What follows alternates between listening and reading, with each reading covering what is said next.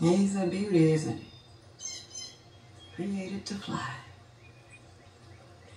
You, on the other hand, were created to be loved. Living unloved is like clipping a bird's wings. Pain has a way of doing that to us. If it's left unresolved, you can forget what you were created for. It's not something I want for you. That's why you're here, Mackenzie. This is your flying lesson.